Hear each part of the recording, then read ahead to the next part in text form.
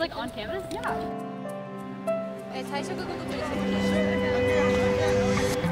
I love the people here. They make the university the university. You can do it on your own, but it's way easier when you have people that are here to help you. Just listening with, with open ears to all the cultures is something that's really key. You know, we may have a lot of rain, but on those beautiful sunshine days, like the sun is everything. When you see the flowers blooming and the greenness, it's, it reminds you why you want to be a duck. Some say it's where you are that matters most.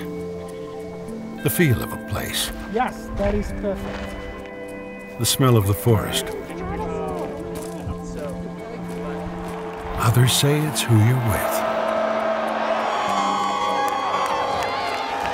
The bonds we build. The ones not easily broken. Oh my god, yeah. 5 p.m. Yep, yep. Is it the place? Or is it the people? At Oregon, we say it's both.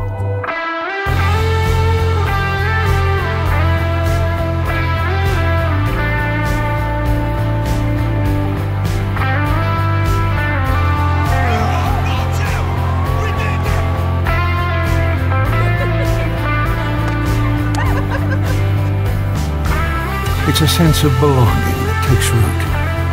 The environment and the growth.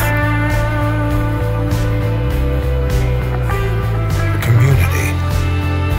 The interests you awaken.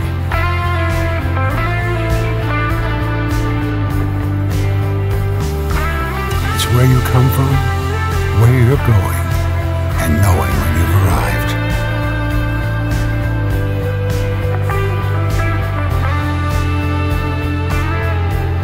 Some say it's the place, others say it's the people.